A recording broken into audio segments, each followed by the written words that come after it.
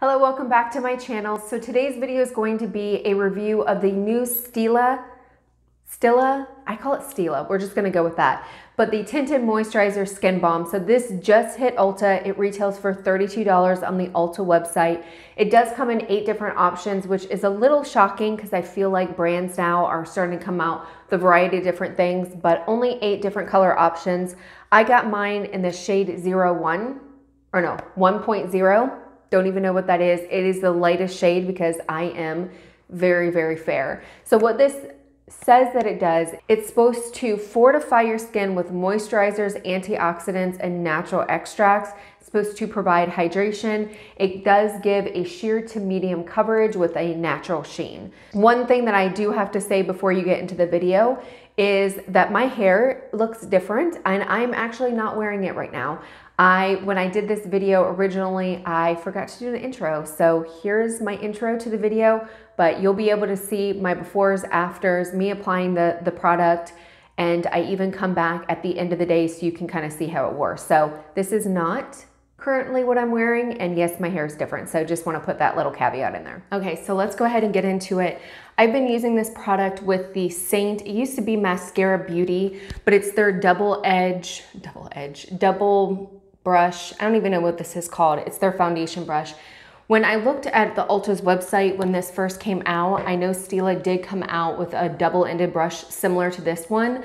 Um, I like this one for using cream products. I figured it would be just fine. Um, I didn't need another similar type brush. So let's go ahead and get into it. So I do have moisturizer on my skin. I use the same beauty products, skincare products that I normally do. The only difference that I found, and it's one of the cons, one of the negatives that I have with this product, is I do find that the product doesn't sink into your skin. Um, it kind of just sits there. This is what it looks like in the palette. It doesn't, like, I feel like this brush does a really good job of blending it in, but it never fully kind of goes into your skin. And the one thing that I found is that semi help with that is to let your moisturizer sink into your skin, like wait 15, 20 minutes, which I will be completely honest with you, that's not realistic in my world on a day to day basis, just because I'm busy. Uh, so I don't have time to sit there and wait for my moisturizer to soak into my skin. Yes, I could technically do other stuff or whatever. I could do my hair similar to what I did this morning, but it just, to me, it's just not conducive and it's not something that I particularly like. I want to be able to put on my foundation as soon as I get done with my moisturizer and just get out and go. Um, especially considering I've been working from home. I don't, I haven't been doing like elaborate looks or anything like that. So I just want something quick and easy. So that's kind of the first layer. Um, as you can see, it, even though the colors, there's only eight color options, it's, this one is the shade 1.0 I feel like even if you were lighter, it doesn't have like a suit, it's not super pigmented. So I feel like even if you were lighter than me, you could get away with this. And even if you were a little bit darker than me, you could get away with this. But it's not doing a super good job of covering up my redness. I do find that I have to go in and kind of stipple the areas, especially around my nose, my forehead, where I normally get red. And I just kind of go in there and put a little bit more product. So the things that I like about this is it does seem to, like even though the color, there's not a huge color option, I feel like this color is very natural for my skin tone. I feel like it does kind of give a natural finish, but that's it as far as the pros. I'll be honest with you, I've been using this for a week now because that's usually the time that I figure out, okay, do I like it or not? The first day that I tried this, I knew I wasn't gonna like it. And it wasn't one of those things that, you know, after a week, I wasn't surprised, like, oh my gosh, I've used it after a week and I still like, or uh, I've changed my mind or whatever. I still hated putting it on every single day. And the reason is it never really sinks in your skin. It never, like, on camera, okay, it looks okay. But in person, I feel like it accentuates my pores. I feel like it accentuates the drooping in my face. And it actually makes my face look older. Like it makes my skin look older. And I can feel as I'm kind of talking and everything, the product on my face. Like it is very, very heavy feeling.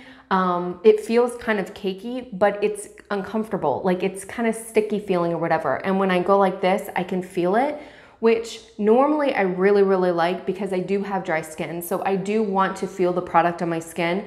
And that's why I stay away from matte like finishes because it literally sucks up all the oil in my face and there's very, very little oil on my face to begin with. So normally I really do like that kind of sticky and tackiness. I don't mind it if I touch my face and I feel it, but I don't want to feel it when I'm talking. Like I don't want to sit there and feel like I have this like thick layer of goo on my face and that's what I feel like with this product. Now it could be the fact that I had to use a little bit more to cover up my, my redness and kind of even out. So for me, this kind of product is perfect if you don't have a lot of imperfections, if you just want to kind of do an overall just kind of gleam of it, I think it would probably work for you. But to be honest, for $32, there's nothing about this product that really wows me. Um, I feel like for me, it doesn't give me the coverage that I look for. Even if I was going out on the weekend or whatever, I think there's other cheaper products or more affordable products that you could use that get you just like this.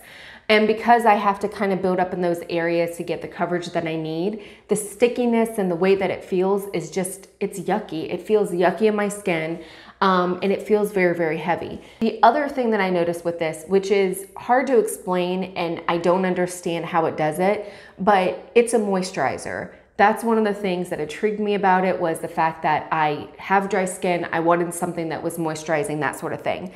But I feel like the end of the day when I take it off, my skin is actually drier than before I even put it on. And I don't set my face or anything like that with powder. So I literally am using my regular skincare products and then this. And I feel like at the end of the day, my skin has more flakes, is more tight feeling. It just doesn't feel good. So I don't, I don't understand what it could possibly do because it is quote, quote unquote, a moisturizer. But I just feel at the end of the day, my skin doesn't like it. Okay, so I wanted to come on here real quick I did my makeup about eight o'clock this morning. It is only one o'clock and you can kind of see how the makeup is starting to break up. You can start seeing the redness on my cheeks, my nose kind of peeking through, my chin. And I don't know if you can see, I have little acne bumps right here that are starting to form. I had another one over here, but it just, and then right here, I started noticing that it's starting to kind of creep up or whatever. You can see it's not horrible. Um, but again, it's not something that like if I was just around the house or if I was just running errands, I'd probably be fine with it. But it's just not a day-to-day -day kind of look. Um, I just don't like the fact that it, it is breaking up.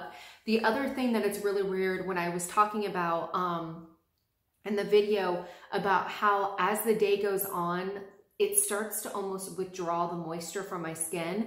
I can start feeling like right here, it's starting to get tight, almost like if you put something alcohol on your skin and it kind of like you feel that tightness, or if you use a uh, moisture, if you use a cleanser and like afterwards you're like doing that, you know, weird feeling because your face feels tight, that's what it feels like throughout the day. I can feel, still feel the product on my face, so it's still there. The gloopiness or that weird feeling has gone away, but I almost have like this tightness, especially around my nose and here in my most dry areas of my face. My T-zone is super, super dry, like very, very dry, like crepey dry, mummy-like dry or whatever.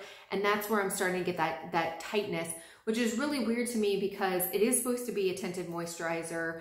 Um, and it's just weird how it never really goes into my skin. It's breaking up, but it's just creating this like almost this feeling that it is taking out all the moisture on my skin and just making it really, really tight. So I wanted to come on and show you guys that five hours later, it is starting to break up. So I know that I would have to, if you're going somewhere if wearing this for work or whatever, you would have to bring it with you in order to touch up. Um, so just wanted to show you guys that.